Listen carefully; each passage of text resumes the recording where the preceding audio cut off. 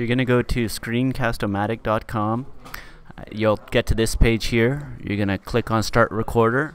Uh, sometimes it takes a little bit of time, but this box is going to pop out, and you're going to say Open Screen Recorder Launcher.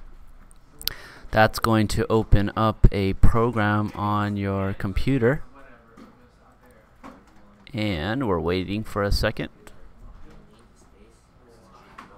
Okay, so here we go.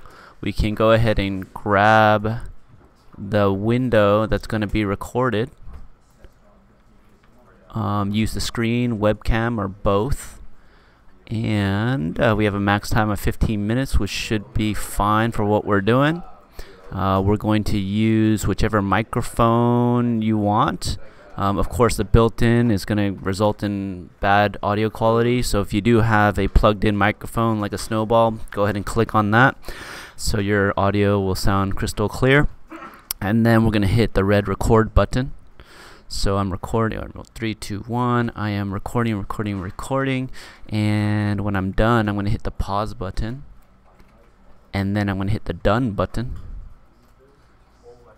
and I have the video so I'm gonna go ahead and upload straight to YouTube that's what I would do um, but if you want the video file you can click on video file and that's pretty much it.